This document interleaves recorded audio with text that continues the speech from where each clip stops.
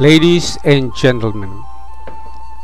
I am going to tell you a very beautiful but tragically touching story that no one else had ever mustered the courage to tell before. This is about a fascinating and fabulous kingdom of the people of the Karn, established in the middle of the 15th century when other civilizations in Asia, including Cebu and Manila, could even be hardly considered and recognized as settlements. This exotic kingdom was first ruled by a valiant prince called Sayyid Abu Bakr, who married the irresistibly lovely daughter of Raja Baginda named Paramisuli.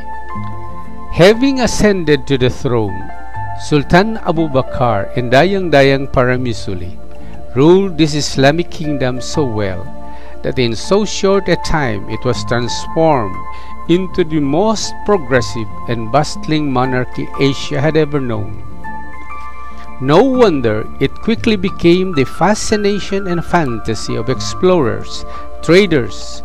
conquerors, and other monarchs and rulers of the Western world.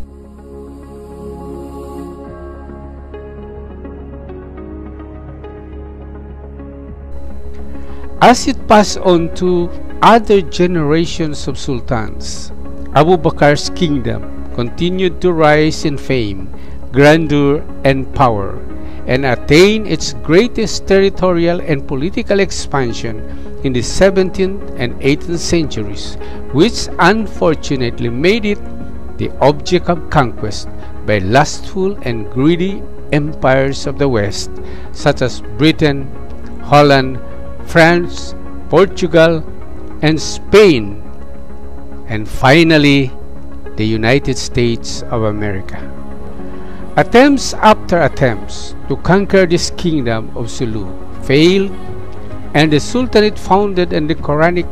principle of statehood continued to flourish and became a super port and bustling commercial center of the Far East to the envy of Western civilizations. Then, by a stroke of fate, the kingdom during the reign of Sultan Jamalul Alam, the Spanish forces, after several desperate attempts to place it under the crown of Spain, succeeded in taking a part of the monarchy in Jolo, forcing the Sultan to sign a treaty of coexistence. The Sultan, among other things, allowed the Spanish colonial government to set up three little garrisons in Jolo, Siasi, and Bongao. This treaty of 1878, from the viewpoint of the Sultan and his adherents, was not a treaty of abdication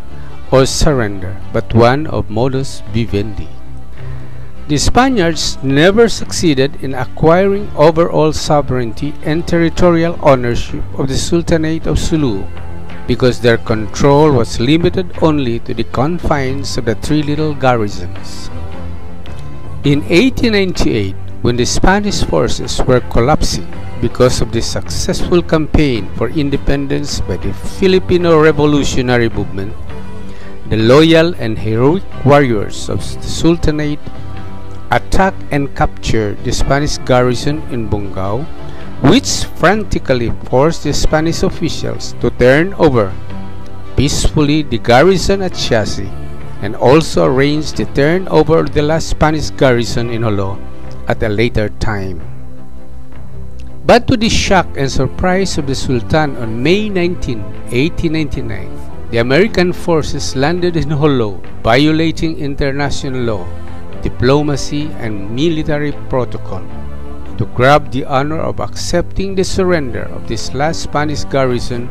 by virtue of the Treaty of Paris signed on December 10, 1898, wherein Spain ceded and sold to the United States the Sultanate of Sulu, a territory which she did not acquire sovereignty nor proprietary right either by conquest or purchase.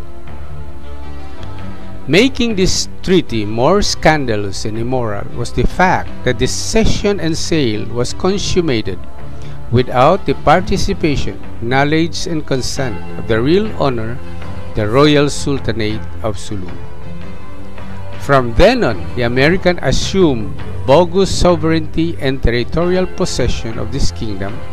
which was finally incorporated to the body politic of the Republic of the Philippines against the popular will and expression of self-determination of the Moro people. Yes, the Americans invaded the territorial domains of this Islamic kingdom without any formal declaration of war or congressional authority in blatant violation of their 1787 constitution. But the legitimate political aspiration of the people of the Karen will always remain ardently alive in their hearts and minds forever. This is the beautiful story of the Sultanate of Sulu, the once fabulous and sparkling kingdom of the Orient.